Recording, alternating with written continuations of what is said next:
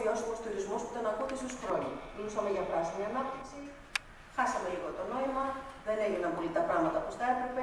Κάποιο νησί, βέβαια, κάποια νησιά, και εδώ επιτρέψτε με ένα μικρό παράδειγμα, όπως και άλλα για να μην δική σου άλλους, όπως η Τίλο, που αυτή τη στιγμή η διαχείριση των σκουπιδιών, η, η, η παραγωγή ενέργειας, ε, ανανεώσιμων πηγών ενέργειας έρχεται σε ένα τεράστιο ποσοστό και είναι πρωτοπόρο το νησί της Τίλου, όπως το νησί των Λιψών, όπω άλλα νησιά. Έχουμε, έχουμε εξαιρετικά καλές πρακτικές που επίσης θα κάνουμε μια πλατφόρμα στο ΝΕΟΤ, που εκεί θα αναδεικνύονται και θα επιβραβεύονται όσο αυτές οι καλές πρακτικές. Δεν είναι μόνο μαύρα τα πράγματα. Δεν είναι μόνο, δεν είναι αδιαφορία παντού και διάκριτη σε όλη την Ελλάδα. Υπάρχουν καλές πρακτικές. Είναι λίγες.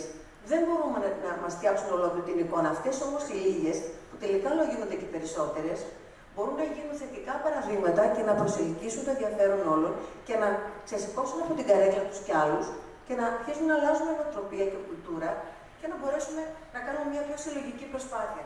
Άρα, συγχαρητήρια σε όλους σας για τις, αυτές τις πρακτικές. Σε μικρά νησιά που δεν το περίμενε κανείς να έχουν τέτοιες δράσεις και τέτοια αποτελέσματα, μα κάνετε περήφανο.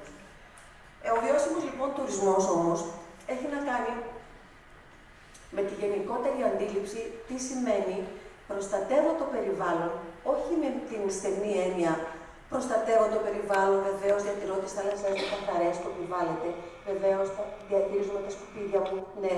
Αλλά και με μια άλλη αντίληψη.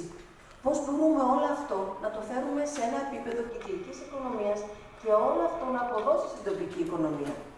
Να μην φοβάται πια ο κόσμος ότι αηφορία, βιωσιμότητα σημαίνει τόσο αυστηρή και όροι που δεν θα μπορέσουμε να ακολουθήσουμε εμείς οι επιχειρηματίες, άρα το δικό μας προϊόν δεν θα είναι ανταγωνίσιμο. Όχι, το αντίθετο.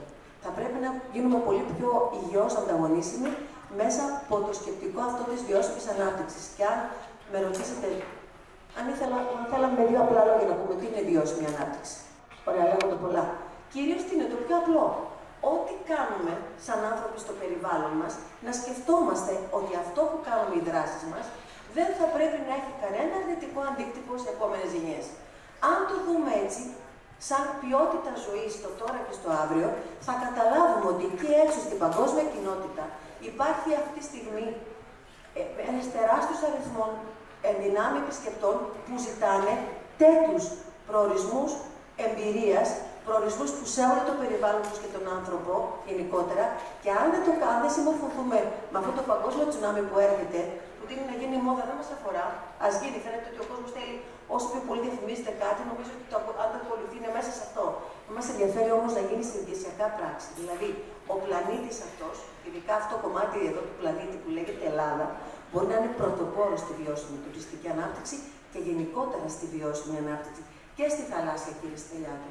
Ήδη τώρα έχουν βγει νόρμες και κανόνες και για την αυτιλία που θα πρέπει να προσαρμοστούν, γιατί πολύ γρήγορα θα είναι μη ανταγωνίσιμα.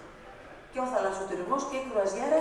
Άρα λοιπόν, εκμεταλλευόμαστε με την καλή έννοια, αξιοποιούμε αυτή την τάση, γινόμαστε πρωτοπόροι, παίρνουμε σημαία μας, την κάνουμε σημαία μας και πράξη, ειδικότερα στα μικρά νησιά. Και δώστε το παράδειγμα και πάλι εσείς και απλώσετε ότι τα μικρά νησιά είναι πρωτοπορούν και στην βιώσιμη ανάπτυξη και στην τουριστική και αλλού. Και ξεκινάμε ή μάλλον συνεχίζουμε τον, τον αγώνα που έχετε ξεκινήσει και με καινούριους όρους πιο δημιουργικούς αυτή τη φορά.